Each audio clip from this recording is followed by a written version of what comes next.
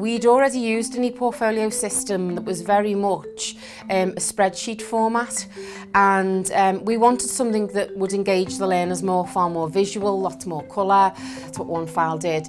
It, it captured us because it was colourful. It looked easier for us to be able to monitor the learners. It was really transparent. It's turned around the way we work and it made us a lot more efficient. Really like the fact that we can use the video, the audio, capture everything there and then.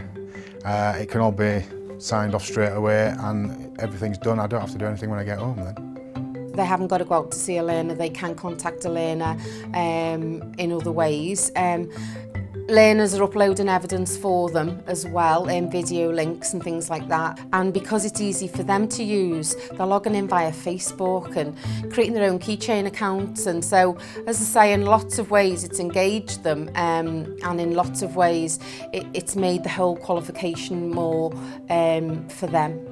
In the, in the run-up to our recent Ofsted inspection, um, senior management at, at the college were particularly impressed with audio feedback that was present in OneFile. They felt that that was much more valuable and, and a, a little bit more in depth than what, we'd, uh, what we see on paper portfolios. They, they really liked the way it covered all aspects of the, the framework. They liked the way the assessors were very clear on how to get the information that they needed. They particularly liked our performance management.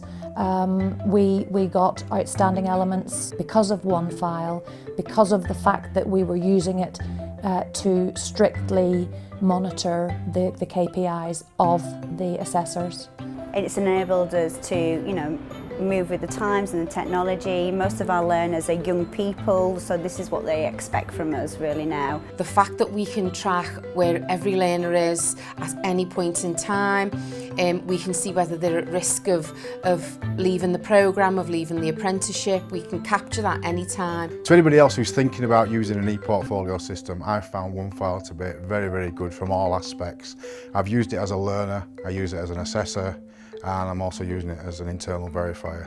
Grab it with both hands and just don't think about it, just do it.